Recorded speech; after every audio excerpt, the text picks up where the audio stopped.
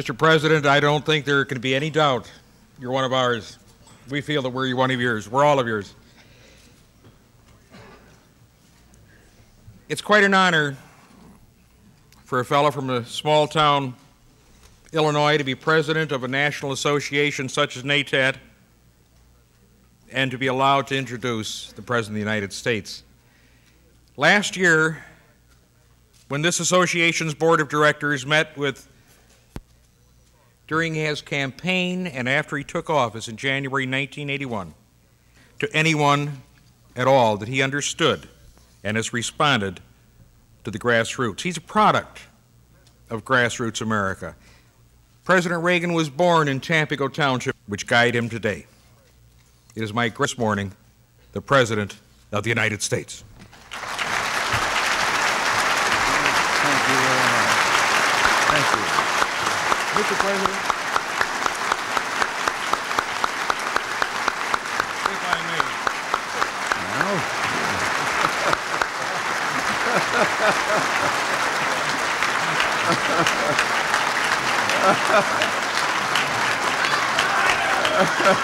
Mr. Higher, okay, they wanted higher. Maybe we can step over. it. Mr. President, this apple pie was baked in a small town. It's symbolic of the fact that the small town, the grassroots America, believe in local control. They believe in local determination as you do. They're symbolic of apple pie and motherhood. And that this pie is also symbolizes that we, the nation's towns and townships, look forward to our fair share of the federal pie.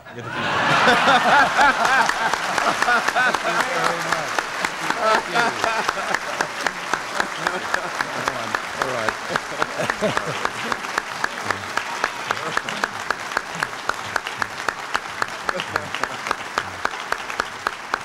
Thank you all very much. Well, thank you, George Miller, Senator Percy, Congressman Horton, and ladies and gentlemen. As I recall, back in World War II, that's what we fought the war for mom's apple pie. But-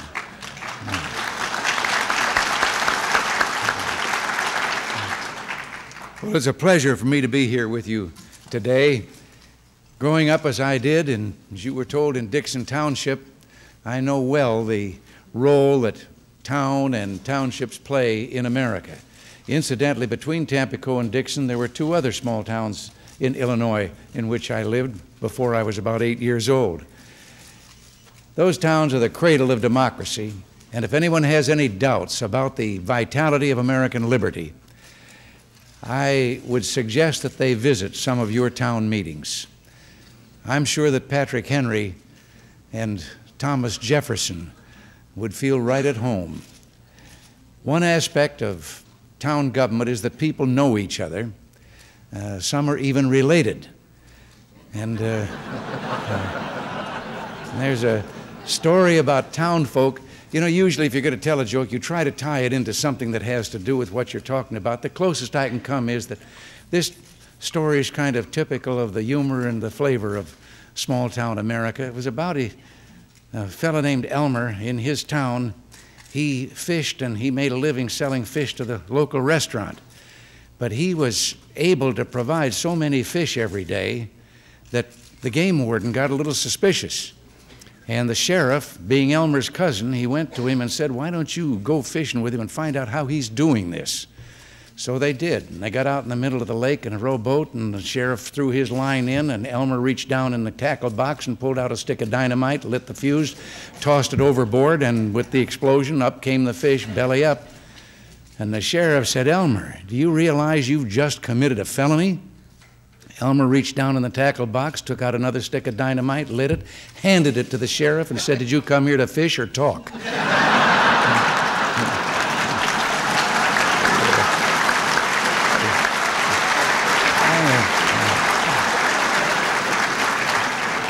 But this gathering here today is testimony to the fundamental change that's taking place in our country.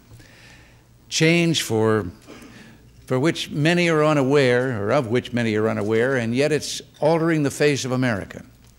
What we're experiencing is nothing less than a, a renaissance of small town life. I'm here to tell you that this administration recognizes it and that the days when your role in our country was taken for granted are over. Small towns and townships have always played a vital part in American life, and yet, about the time of the Civil War, urban areas began to grow at a faster clip. I wasn't around at the time, but a little later I was witness to that move to the urban areas. Now, I'm certain that all of you are aware that that trend has reversed itself. In the 1970s, some rural areas continued to or grew uh, at a rate that was far above the growth, 50% faster than the uh, growth in urban centers. Now, today, one out of four of our citizens lives in non metropolitan areas. And some polls indicate that 60% of the American people would join them if they could find work in those smaller towns. The influx of people into uh, small towns and rural areas reflects the not just the material well being and the desire of that, but the desire for a different quality of life. During the 1960s, there were those who scoffed at small town values, at uh, family, the talk of family and God and neighborhood, and they said uh, those things in which we believe are old fashioned and corny. Well, there's been some growing up in this country in the last few years, and people are discovering that those basic values we hold so dear are stronger than the fads that make a big splash one day and evaporate the next. Many of the problems we face today are the results of drifting away from principles that kept our country on a sound footing through most of its history. Our forefathers believed that government should be limited and power should be decentralized. Calvin Coolidge, a president I deeply admire, put it well. Our country, he said, was conceived in the theory of local self government. It has been dedicated to, by long practice, to that wise and beneficent policy. It is the foundation principle of our system of liberty. There are people that down through the years have not expressed much admiration for Cal Coolidge, but I remember something that I think would strike all of you as typical of him. It was a summer, and his son had a job working on the farm up in New Hampshire. And it was hard and hot work. And one day, another kid that was working there at lunchtime said to him as they were sitting there eating out of their brown paper bags, he said, Boy, if my father were president, I wouldn't be doing this. And Cal's son said, If your father were my father, you would. the American system, decentralized and based on guaranteed and individual rights, served our country well.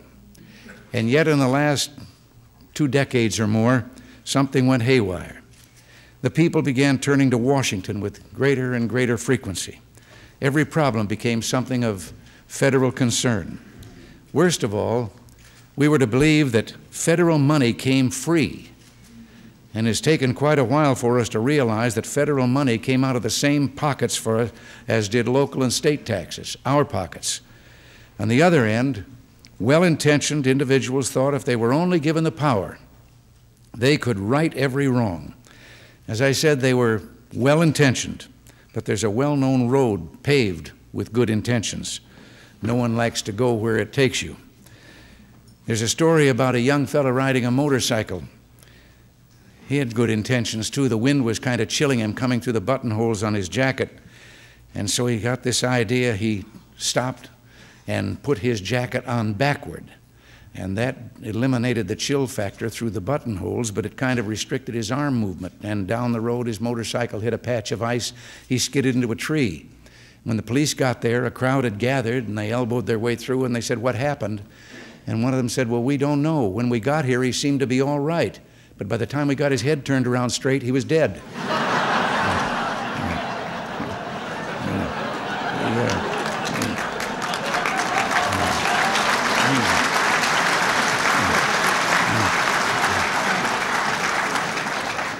I think that has a tie in with some of the things that the government does.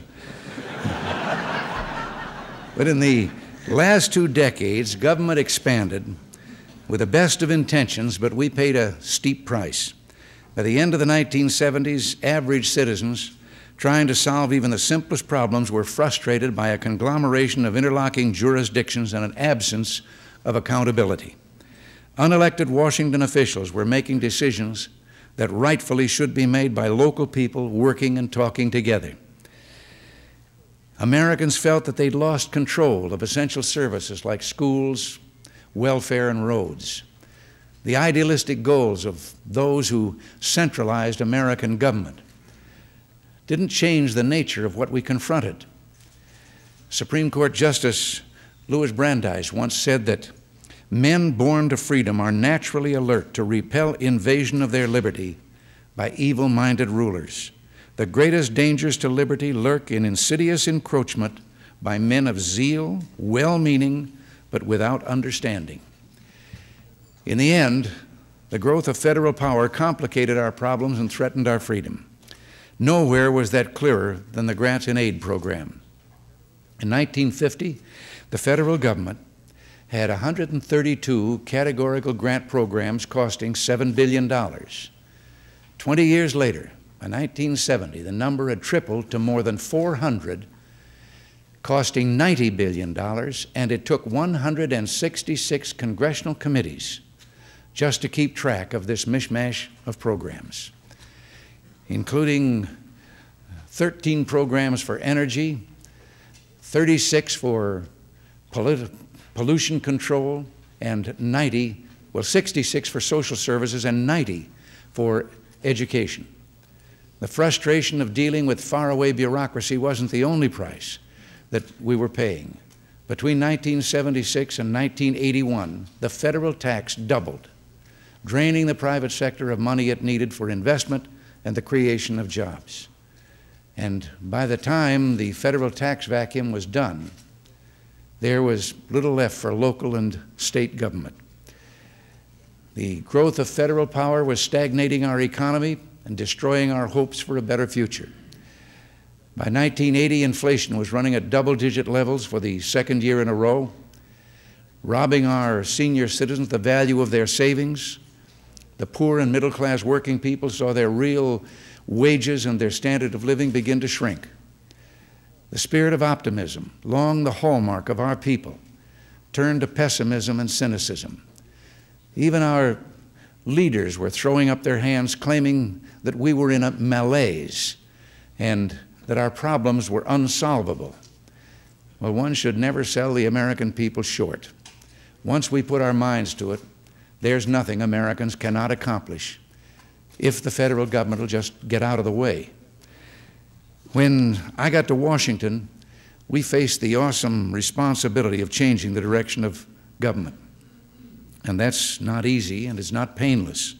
I'd like to take this opportunity to thank George Miller and all of you in the National Association of Towns and Townships for the support that you've given over these two and a half years. I remember meeting George and your officers in the White House, and believe me, it was expressions of support like the ones I heard that day that kept me going. After our meeting, I told my staff they just had a dose of good old fashioned grassroots Americanism, and I sense that same spirit in this room today. It's taken time, but I'm proud to tell you that together we've turned around a desperate situation, and we're never going back to the policies of tax, spend, and inflate that brought our country to the edge of disaster.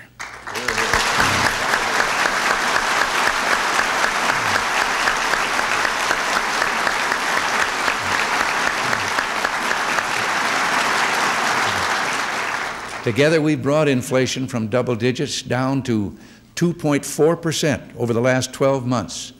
And that's the best 12 month record in nearly 17 years.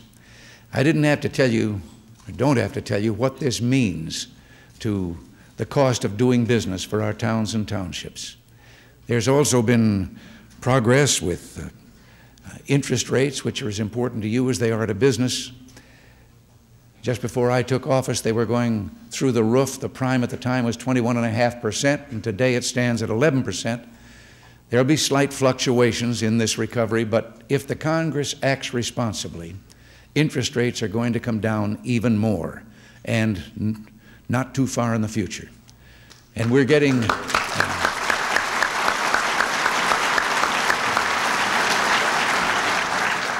We're getting the federal spending and taxing juggernaut under control. Spending was growing at a rate of 17% a year when we got here. We've cut that by nearly 40%, and let me say that still isn't good enough. There's an old saying that in levying taxes as in shearing sheep, it's best to stop when you get to the skin. well, by 1980, taxes were making our economy bleed.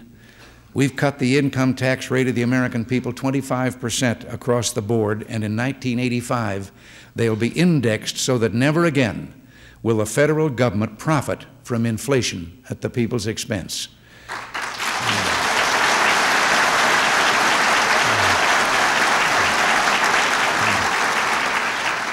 There's one part of our tax reform program of which I'm particularly proud, and that is that by raising the exemption on the inheritance tax and by eliminating it altogether for surviving spouses, we've restored the right to American people of passing on their family farm or small business to their children.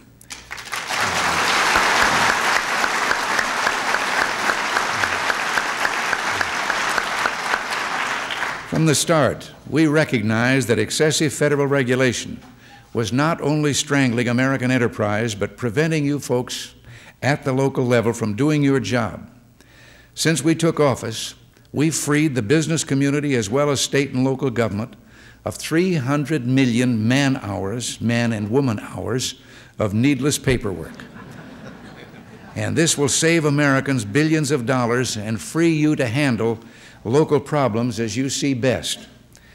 Returning power to levels of government closer to the people has been one of the guiding principles of this administration.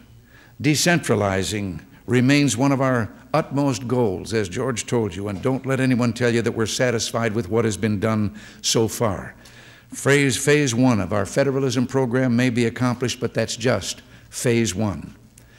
Again, with your help, we managed to get through the Congress a block, block grant package that consolidated 57 programs into nine block grants that in 1982 eliminated some 5.4 million hours of work for state and local officials, and in subsequent years will eliminate some 5.9 million hours a year. We continued this effort with the enactment of the Job Training Partnership Act and the Urban Mass Transportation Grants Program. This year, we've proposed legislation that will consolidate over $22 billion of spending in 34 programs into four block grants. Included among these is the Rural Housing Block Grant, which will give you more control and flexibility over programs costing $850 million annually. The significance of the block grant, as most of you well know, is that it isn't tied with all the rules and regulations and specifics as to how the program must be managed, as is true in the individual or specific grants. It gives you the flexibility to set the priorities and determine how best that money can be spent. The biggest resistance to our efforts has been from politicians who simply don't believe that local government is competent to do the job. Their opposition seems to be based on the notion that the federal bureaucracy has a monopoly on compassion and efficiency, which I think you'd find mighty strange. It's been said that a man's intelligence does not increase as he acquires power. What does increase is the difficulty in telling him that.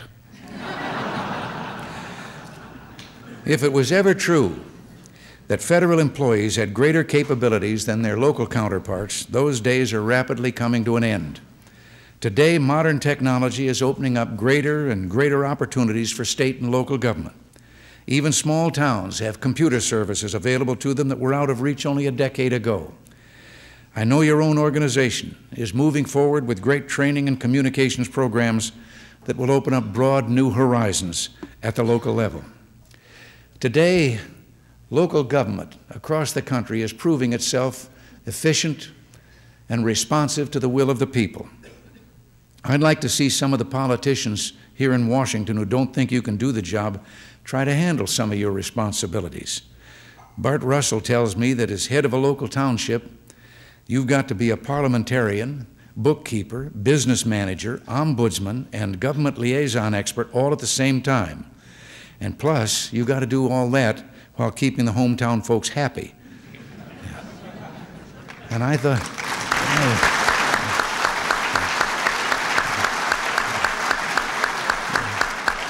And I thought dealing with Capitol Hill was hard.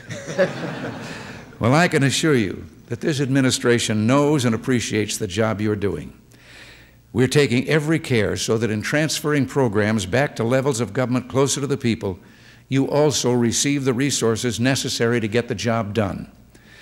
I have a dream that someday we can provide you with the revenue sources that have been co opted by the federal government so that local money no longer has to make a round trip through Washington before you can use it back in your local area, minus a certain carrying charge. In the meantime, you can count on us to be sensitive to current obligations. I continue to support general revenue sharing and will oppose any changes.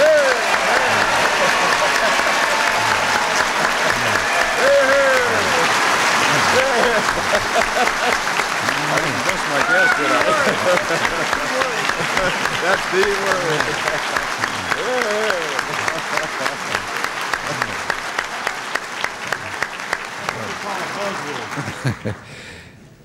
I will oppose any changes in the general revenue sharing formula that unduly impact on towns and townships.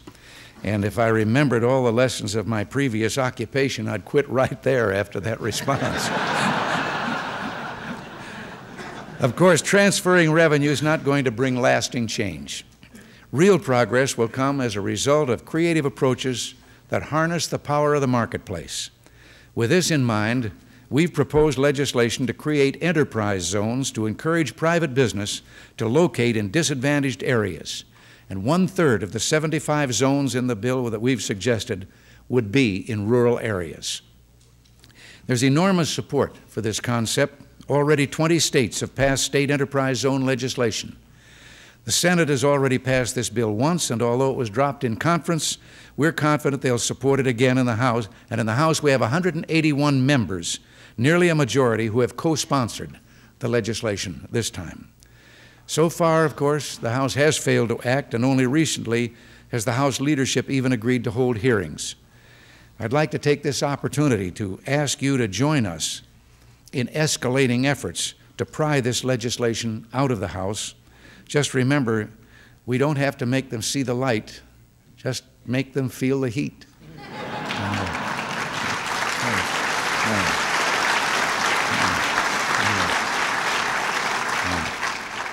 I'll square that with present company later. it's about time that you had a fair say in the federal policies that affect you. I want to assure you that I continue to support strong, strongly legislation that would provide for a member nominated by your organization to be placed on the Advisory Commission on Intergovernmental Relationship.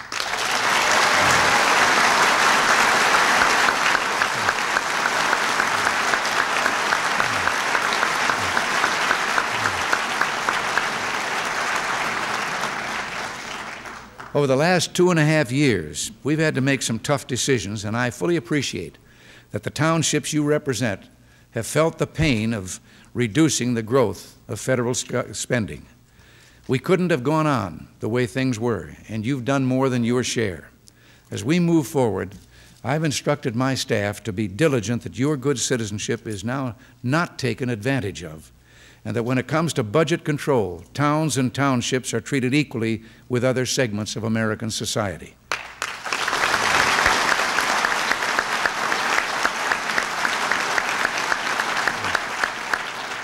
We must always remember that on our shoulders rests the responsibility of our country's future.